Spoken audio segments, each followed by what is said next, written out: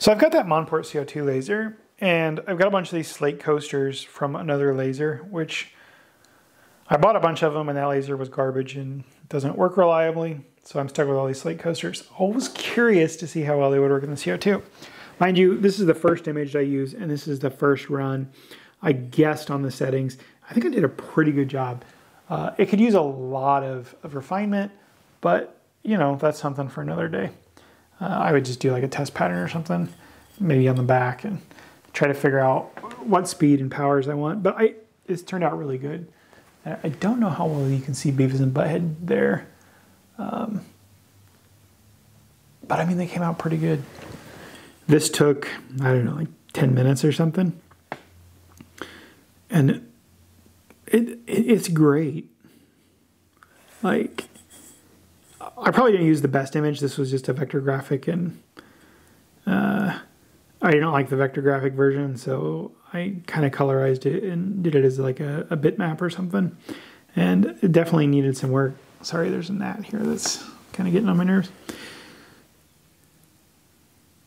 If you were just doing a vector image, it would be easy because you wouldn't have to worry about the different power settings and trying to get the colors to kind of look all right in grayscale. And you could just rip through here, man, with a with a simple line image and do a cool little coaster or uh, like a commemorative thing for a pet. Um, someone asked me recently how well this laser would do granite so they could do like a little memorial thing for their pet. And I was like, well, I don't have any granite, but let me try on some slate. And that's why I did this. And I showed it to them and they were like, cool, cool.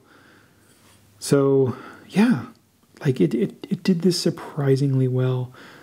I, I am very happy. And one thing to think about here with the slate too is I've actually had some of the slate trip the fire sensor for another laser I have because there are random deposits in the material.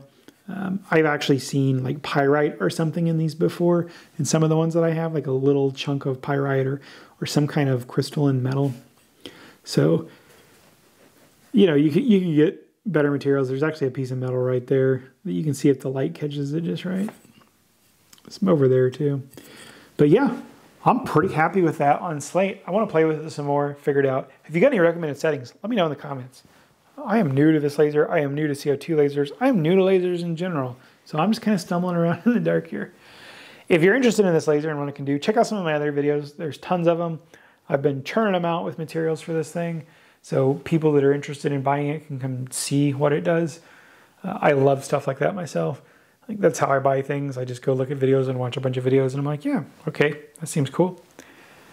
There will be a link to this in the description. There will be a link to it in the stickied comment. There's a coupon code, discount code down there for Monport Ryan Mercer. One word should save you about 10%. And that is an affiliate thing. I do get a little bit of kickback of that. Costs you nothing extra, saves you money, makes me a little money. Thanks for stopping by. Check out some of my other videos, and I'll see you in the next one.